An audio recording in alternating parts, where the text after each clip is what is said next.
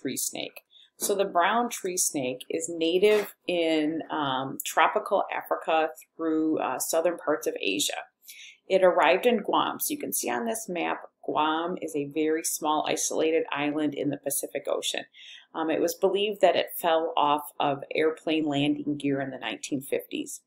Most of Guam, Guam, there were no snakes, were native to Guam before this time but the brown tree snake. And so birds uh, and mammals like bats would just nest in all sorts of places all over the ground. And again, there weren't snakes, so there wasn't a concern in these native species.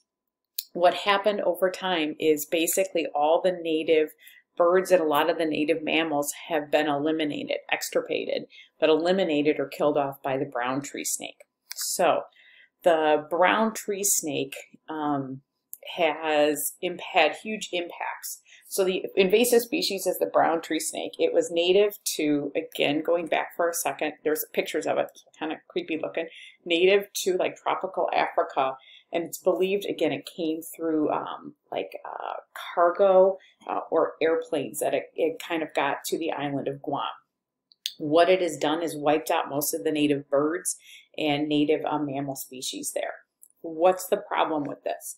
Well, there's a lot of different problems. It's interrupted a lot of ecological processes. So flying foxes are actually a bat, but they are a type of pollinator. So um, they wiped out pollination. And again, this is a tropical island that grows a lot of tropical fruits and things. And so a lot of pollinators have been wiped out. There's a lot less birds there on the island. So there's a much higher insect population, which impacts tourism because no one really wants to go there uh, reduces the yield of fruit crops because you don't have the native pollinators there. And um, there are other, like tourists would want to go there. And again, now there's the snake, there's more insects, a lot of native birds that used to, or seabirds that nested there don't nest there. So huge economic and ecological impacts. And in fact, the brown tree snakes are so bad, they're linked with power outages where you'll actually have so many brown tree snakes on power lines, they get power outages from them. So pretty crazy impacts from the brown tree snake. Um, bottom line is what we've learned from the brown tree snake is at the first sign of an invasive species, it may seem extreme, but do everything you can to eliminate it. Big idea is prevention, prevention, prevention.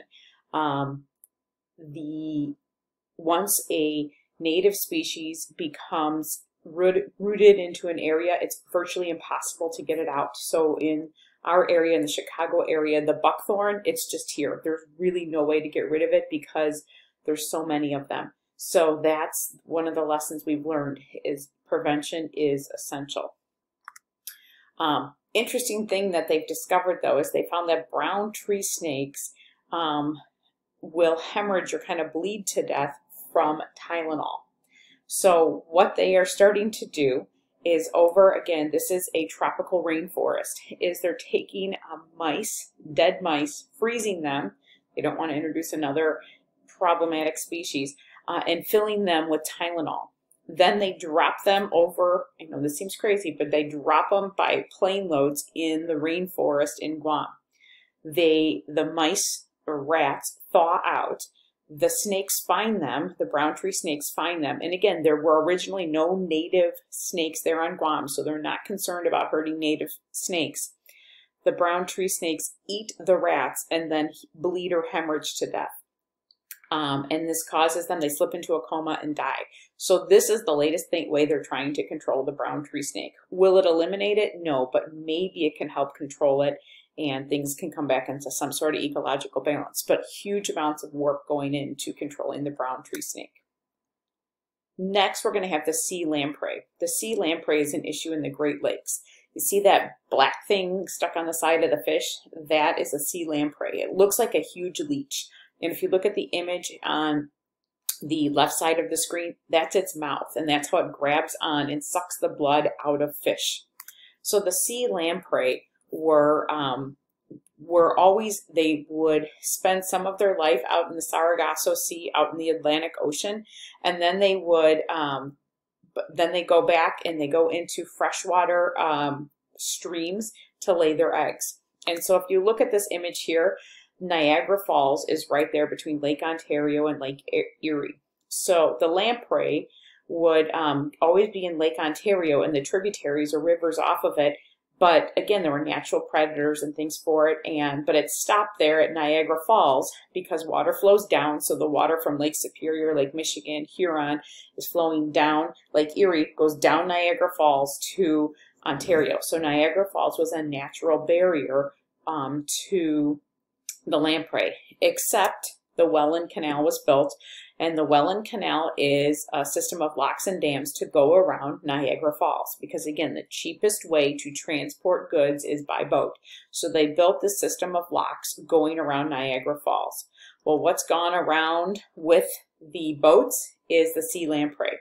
The sea lamprey got around and then got into all the Great Lakes and caused a major collapse in the lake trout population and other fish populations in the Great Lakes in the 1950s and 1960s.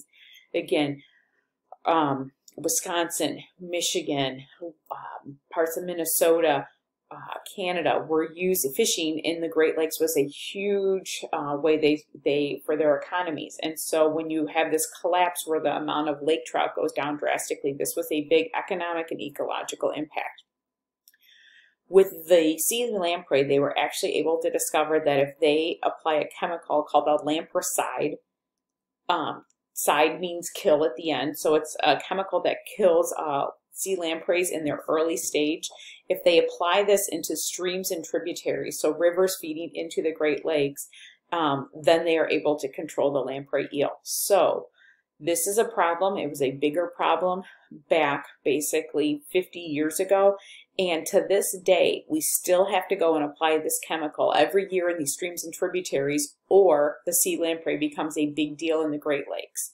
So in Lake Michigan, those things are swimming around in Lake Michigan. They're still there, but there's not as many of them there because we control it now with this chemical that has to be added every year.